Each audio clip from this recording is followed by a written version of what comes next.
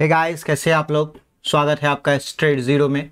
आज के static general knowledge के इस वीडियो में हम लोग चर्चा करने वाले हैं पासेस के बारे में इंपॉर्टेंट पासेस ऑफ़ इंडिया अब ये जो लेक्चर है, ये आपको हर एग्ज़ाम में काम आएगा, चाहे ये यूपीएससी का एग्ज़ाम हो, या एसएससी का एग्ज़ाम हो, या उत्तर प्रदेश का एग्ज़ाम हो। तो किसी भी एग्जामिनेशन में अगर जीके जीएस के क्वेश्चन आते हैं तो आपको ये जो लेक्चर है, ये बहुत काम आने वाला है। हर एग्ज़ाम में कहीं ना कहीं ज्योग्राफी से क्वेश्चंस तो रहते ही रहते हैं। तो सबसे पहले हम लोग समझते हैं ये पासेस होते क्या है। What it meant by passes passes क्या होते हैं? तो पासेस मतलब पास मीन्स रास्ता। पास मीन्स पास करना। किसी जगह से पास करना। अब ये पासेस होंगे कहाँ? इनको पढ़ने की ज़रूरत क्यों है? तो ये पासेस कभी मोस्टली माउंटेन्स में पाए जाते हैं। मोस्टली माउंटेन्स में पाए जाते हैं। उसके अलावा ये पासेस हिल्स में भी होते हैं। अब ये पासेस की ज़रूरत होती क्यों है? इसका महत्व क्या है? तो पहाड़ों के जो एरियाज़ होते हैं, उनको पार करना बहुत ही मुश्किल काम होता है। उनको काट कर सड़कें बनाना भी बहुत बहुत बहुत टफ काम होता है। तो इन केसेस में हम लोग क्या सर्च करते हैं? हम लोग कोशिश करते हैं उन रास्तों को खोजना। जैसे आप ये देख सकते हैं, ये देख सकते हैं, उन रास्तों को खोजना जो कि नेचुरली अवेलेबल हो पहाड़ों के बीच से आने जाने के लिए। तो उसे ही हम क्या कहते हैं? पास कहते हैं। अब ये पासेस क्या हमें, क्या हेल्प करते हैं? ये पासेस बनते हैं gateway to connect different part of country अगर देश में कहीं आना जाना है, मान लीजिए जम्मू कश्मीर के व्यक्तियों को इंडिया आना जाना है तो पासेस के थ्रू वो आ जा सकते हैं। उसके अलावा हमको एक देश से दूसरे देश जाना है लाइक इंडिया टू चाइना या इंडिया टू नेपाल तो हमें पासेस की ज़रूरत पड़ती है। उसके अलावा ये क्या करता है मदद? ये ट्रेड करने में पासेज होंगे तो ट्रेड होंगे ट्रेड होंगे तो इकोनॉमी बढ़ेगा पासेज होंगी तो क्या होगा? ह्यूमन और एनिमल का माइग्रेशन होगा। पासेस के बिना ह्यूमन और एनिमल आ जा नहीं सकते हैं। और एक ट्रेजिक सिचुएशन की अगर बात करें तो पासेस के कारण ही वॉर भी होते हैं। क्योंकि अगर सैनिक पास के थ्रू आ जा सकेंगे तो ही वॉर संभव होगा। अगर सैनिक पास के थ्रू नहीं आ जा पाएँगे तो वॉर पॉसिबल नहीं है। तो इस वीडियो में मैं नीलांशु कुमार आपके साथ चर्चा करूँगा। पासेस जो कि भारत में इंपॉर्टेंट पासेस हैं और जो एग्जामिनेशंस में कई बार पूछे गए हैं, उनकी चर्चा करूँगा। ठीक है? तो आप देख सकते हैं पासेस कहाँ कहाँ मेनली अवस्थित होंगे। तो एक तो ये हिमालय, आज हम लोग हिमालयन पासेस की बेसिकली चर्चा कर रहे हैं। लाइक बनिहाल पास है, पीर पंजाल है, बुर्जिला है, अगहिल है, चांगला है, खारदुंगला है। तो इस तरह से हम अलग अलग पासों के बारे में डिटेल से चर्चा करेंगे। चलिए शुरू करते हैं। तो सबसे पहले आता है हमारे लिए नाथुला पास। ये नाथुला पास कहाँ अवस्थित है? ये नाथुला पास सिक्किम में अवेलेबल है। अब सिक्किम में अवेलेबल है तो ये क्या हमें सहायता प्रदान करता है? तो ये हमें सहायता प्रदान करता है इंडिया और चाइना को जोड़ने में सहायता प्रदान करता है। तो नाथुला पास कहाँ है? सिक्किम में है। ये कनेक्ट किसे करता है? इंडिया एंड चाइना को कनेक्ट करता है। अब आप मैप में अगर देखना चाहें तो ये है नाथुला पास यहाँ पे। और ये है एरिया जो कि चाइना का एरिया है। ये जो एरिया मैं ब्लैक कलर से पेंट कर रहा हूँ, ये है चाइना एरिया और ये है हमारा प्यारा सा सिक्किम राज्य। ये है हमारा सिक्किम राज्य। ठीक है? तो ये इंडिया को चाइना से कनेक्ट करने का एक रास्ता है, जिसे हम नाथुला पास के नाम से जानते हैं। ठीक है? चलिए आगे बढ़ते हैं।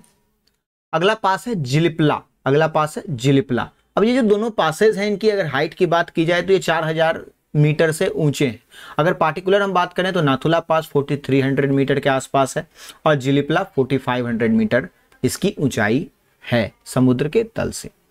अब ये जो जिलिपला पास है वो चुंबी वैली से क्रॉस करता है। ये भी सिक्किम में है, ये सिक्किम को तिब्बत से जोड़ने का काम करता है। तो हिंदी में भी आप देख सकते हैं जिलिपला ये किस एरिया में स्थित है? सिक्किम के चुंबी वैली में है और ये सिक्किम और तिब्बत को जोड़ने का काम भी करता है। और इसके अलावा ये सिक्किम को भूटान से भी जोड़ता है। ये सिक्किम को भूटान से भी जोड़ता है। क्लियर चलिए, ठीक है। तो ये जो पास हमने दो अभी पढ़े ये दोनों पास कहाँ अवस्थित हैं? ये सिक्किम में अगस्त, अवस्थित है। इसके बाद आता है कारा टैग ये भी एक पास है जो सिक्किम में है, जो कि काराकोरम माउंटेन्स में पाया जाता है।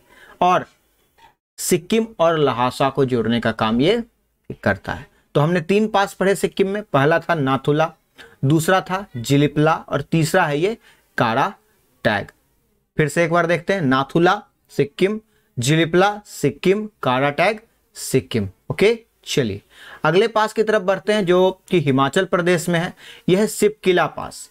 ये सिपकिला पास कहाँ अवस्थित है? सतलज जॉर्ज। कहाँ अवस्थित है? सतलज जॉर्ज में अवस्थित है, जो कि हिमाचल प्रदेश को तिब्बत से, जो कि चाइना में है, जोड़ने का काम करता है, ठीक है? अगला, अगर हिंदी में देखें, सिलिपला दर्रा से कहते हैं पास को, और सतलुज कंठ में अवस्थित है, और तिब्बत के साथ हिमाचल प्रदेश को जोड़ता है। हिमाचल प्रदेश की कैपिटल क्या है? हिमाचल प्रदेश की कैपिटल क्या है? क्या है? शिमला। ठीक है? चलिए, आगे बढ़ते हैं। अगला पास है Rohtang pass. Rohtang pass important है। बहुत इंपॉर्टेंट पास में से एक है, ये भी हिमाचल प्रदेश में। है ये बहुत बड़ा टूरिस्ट अट्रैक्शन है। ये बहुत बड़ा टूरिस्ट अट्रैक्शन है, ठीक है? और यहाँ पर जो टूरिस्ट का आना जाना है, और यहाँ पर जो व्हीकल्स मूवमेंट है, बहुत ज़्यादा है। क्यों? क्योंकि ये कुल्लू, लाहौल स्पीति और और लाहौल स्पीति वैली और कुल्लू को जोड़ता है। तो ये बहुत इंपॉर्टेंट लोकेशन हो जाता है because of military public and private vehicles जिसके कारण यहाँ पे जाम्स ज़्यादा लगते हैं। तो ये कहाँ है दर्रा? रोहतांग दर्रा, हिमाचल प्रदेश में है और ये किसे जोड़ता है? लाहौल स्पीति घाटी को कुल्लू घाटी से जोड़ने का काम ये पास करता है। अब अगले पास की तरफ़ हम लोग बढ़ते हैं, वो है उमिंगला, उमलिंगला। अब ये जो पास है, ये लेह लद्दाख में अवस्थित है। ये कहाँ है? ये लेह लद्दाख में अवस्थित है। अब ये पास लेह को पेंगोंग लेक से जोड़ता है। ये पास लेह को पेंगोंग लेक से जोड़ता है। ठीक है? ये आप देख सकते हैं मैप में, ये उमलिंगला पास। कहीं ना कहीं ये चाइना के बॉर्डर पे है। और अगर इसकी एक इंपॉर्टेंट चीज़ देखें कि ये है वर्ल्ड हाईएस्ट मोटरेबल रोड। ये गाड़ी चलाने के लिए दुनिया का सबसे ऊँचा सड़क है। और इन सड़कों को कौन मेंटेन करता है? बॉर्डर रोड ऑर्गेनाइजेशन इन सड़कों को मेंटेन अगर हम देश की बात करें तो हमारे देश में नेशनल हाईवेज हैं और इन नेशनल हाईवेज को एन बनाती है। National highway authority of India लेकिन जो बॉर्डर पे सड़कें बनती हैं, उनको बीआरओ बॉर्डर रोड ऑर्गेनाइजेशन निर्मित करता है और उसकी रखरखाव भी करने का काम वही करता है। खारदुंगला पास की बात करें तो यह भी लेह लद्दाख में है। ये लेह को सियाचिन ग्लेशियर से जोड़ने का काम करता है। खारदुंगला पास किसे जोड़ता है? लेह को सियाचिन ग्लेशियर से। मैप में ये यहाँ है। ये लद्दाख में है। क्यों है लद्दाख में? क्योंकि ये जो एरिया है, ये पहले पूरा जम्मू कश्मीर था, लेकिन 2019 में इस एरिया को जम्मू एंड कश्मीर यूटी बना दिया गया केंद्र शासित प्रदेश बना दिया गया और इस पार्ट को लद्दाख बना दिया गया। और ये भी एक केंद्र शासित प्रदेश है। क्लियर चलिए, आगे बढ़ते हैं।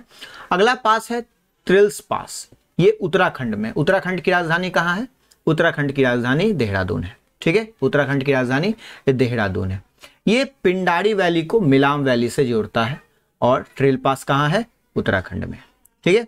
मैं आपको लेक्चर के लास्ट में एक लिस्ट दे दूँगा, जिसमें सारे इंपॉर्टेंट पासेस और वो कहाँ अवस्थित हैं, वो हैं। आप उसकी स्क्रीनशॉट ले लीजिएगा और उसको याद अच्छे से करिएगा। ओके तो ये ट्रिल पास का अगर हम मैप में देखें तो ये उत्तराखंड में इस जगह पे अवस्थित है। ठीक है? यहाँ ये है ट्रिल पास ओके चलिए, अगले पास की तरफ़ बढ़ते हैं। अगला पास है हमारा आज का डिब्सा पास ये दिब्सा पास जो है, ये उत्तराखंड में अवस्थित है और ये स्पीति वैली को पार्वती वैली से जोड़ता है। ये स्पीति वैली को किससे जोड़ता है? पार्वती वैली से जोड़ने का काम करता है। इसे हम देवसा दर्रा भी कहते हैं। कहाँ है? उत्तराखंड में। अगला पास है मनसंग दुर्रा। मानसंग दुर्रा। ये भी उत्तराखंड में है। ये उत्तराखंड को तिब्बत से जोड़ता है। हिंदी में बात करें तो मंगसा दुर्रा इसे कहते हैं। उत्तराखंड उत्तराखंड को तिब्बत के साथ कनेक्ट कर रहा है। तो अभी तक हमने कितने पासेस के बात किए? हमने नाथुला पास के बारे में पढ़ा, हमने जिलिपला के बारे में पढ़ा, हमने कारा टैग के बारे में पढ़ा, हमने सिपकिला पास के बारे में पढ़ा, हमने रोहतांग पास के बारे में पढ़ा, हमने देवसा पास के बारे में पढ़ा। अब हम लोग पढ़ रहे हैं बनिहाल पास अब बनिहाल पास की एक जो इम्पोर्टेंस है, ये जवाहर सुरंग जवाहर सुरंग इसके नीचे से बनाया गया था। इसके नीचे से बनाया गया था, इस पास के नीचे से, जिसके बाद इस पास से जो ट्रैफ़िक था वो बंद हो गया।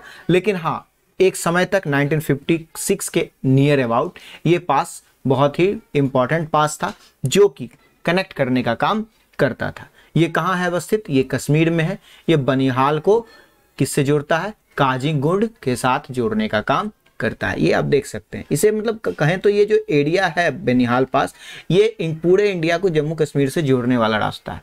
ये पूरे भारत को जम्मू कश्मीर से जोड़ने का भी एक महत्वपूर्ण रास्ता है। और यहाँ पर जो जवाहर टनल है, ये बहुत इंपॉर्टेंट टनल है। और कभी कभी जब बर्फबारी होती है तो ये टनल्स बंद भी हो जाते हैं। तो उस केस में क्या होता है कि आना जाना जम्मू कश्मीर थोड़ा सा टफ हो जाता है या लगभग बंद ही हो जाता है। अगले पास की बात करते हैं। ये जोजिला पास है। ये जोजिला पास भी कश्मीर में है। ये श्रीनगर विथ कारगिल एंड ले ये श्रीनगर को कारगिल और लेह से जोड़ने का काम करता है। तो जोजिला पास कहाँ है? कश्मीर में है। अब देखिए, मैप में जोजिला पास ये रहा। अब देखिए, यहाँ पर कश्मीर पहले था। अब क्या हो गया है? लद्दाख। अब क्या हो गया है? लद्दाख। तो कश्मीर को हम लद्दाख लिख देंगे। ठीक है? ओके। उसके बाद आता है बुर्जिल पास। बुर्जिल पास, ये भी कश्मीर में है। कश्मीर श्रीनगर को किशन गंगा से जोड़ने का काम करता है। इसे बुर्जिल दर्रा कहते हैं हिंदी में। Okay here it is Burzil दर्रा। ये बुर्जिल दर्रा है। अब देख सकते हैं कि ये लद्दाख का एरिया है। इसे कनेक्ट करता है जम्मू कश्मीर से। इसे क्या करता है? कनेक्ट करता है जम्मू कश्मीर। जिस तरह से बनिहाल पास जम्मू कश्मीर को पूरे भारत से कनेक्ट करने का काम करता है। चलिए, अगले पास की तरफ़ बढ़ते हैं। अगला पास है पीर पंजाल पास। ये भी कश्मीर में है। ये जम्मू को श्रीनगर से जोड़ता है। पीर पंजाल दर्रा इसे कहा जाता है। ठीक है? चलिए, अगले पास की तरफ़ बढ़ते हैं। यह है पेंसिला। पेंसिला पास ये भी कश्मीर में है। ये कश्मीर वैली को कारगिल से जोड़ने का काम करता है। ये कश्मीर वैली को कारगिल से जोड़ने का काम करता है। पेंसिला पास किसको जोड़ता है? कश्मीर वैली को कारगिल से जोड़ता है। पैंगसू पास। पैंगसू पास अरुणाचल प्रदेश में। अरुणाचल प्रदेश की राजधानी क्या है? ईटानगर। ईटा नगर ठीक है? अब अरुणाचल प्रदेश कहाँ है? ये नॉर्थ ईस्ट में है। इंडिया के नॉर्थ ईस्ट में। ठीक है? अब आप लोग कमेंट में मुझे बताएँगे नॉर्थ ईस्ट के जो सेवन सिस्टर्स स्टेट हैं, उनका नाम। इसके सेवन सिस्टर्स स्टेट का नाम आप हमें कमेंट में बताएँगे। अरुणाचल प्रदेश को म्यांमार से जोड़ने का काम करता है। म्यांमार इंडिया का one of the neighbour country है। म्यांमार इंडिया का one of the neighbour country है। आप लोग मुझे कमेंट में ये भी बताएँगे कि इंडिया किन किन राज्यों से सॉरी किन किन कंट्री से बॉर्डर शेयर करता है। इंडिया का जो बॉर्डर है, किन किन कंट्री से शेयर होता है। ये भी आपको कमेंट में बताना है। मैं अगले वीडियो में इसे बता दूँगा। ठीक है? चलिए तो पैंगसा दर्रा कहाँ है? अरुणाचल प्रदेश में है और ये अरुणाचल प्रदेश को म्यांमार से जोड़ता है। अब आप देख सकते हैं, यह है पैंगसा दर्रा का लोकेशन जहाँ पर ये भारत और म्यांमार के बॉर्डर का काम करता है और भारत और म्यांमार को, में आने जाने का रास्ता प्रदान करता है।